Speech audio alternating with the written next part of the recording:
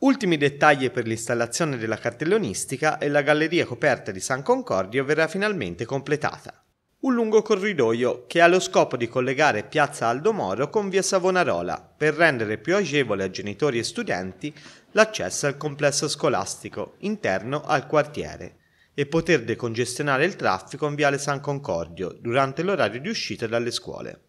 Oggi l'opera è stata visionata dalla Commissione Lavori Pubblici del Comune di Lucca, presieduta da Marco Santiguerrieri, alla presenza dei tecnici dell'ERP e della dirigente Antonella Giannini. Presente anche l'assessore ai lavori pubblici Nicola Buchignani.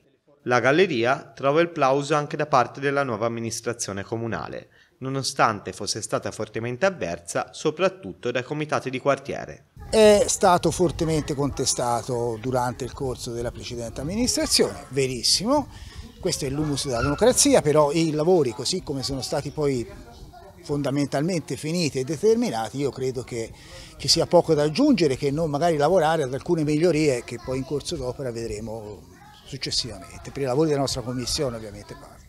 Oltre alla realizzazione della struttura, durante i lavori sono state abbattute tutte le barriere architettoniche presenti nei parcheggi. Nel parco sono stati inseriti dei giochi in legno e la fontana storica che era prima in via Nottolini. Sono stati riqualificati i percorsi degli autobus e anche dal punto di vista del verde urbano i dati sono positivi. È vero che sono stati abbattuti degli alberi, ma ne sono stati piantati 20 in più.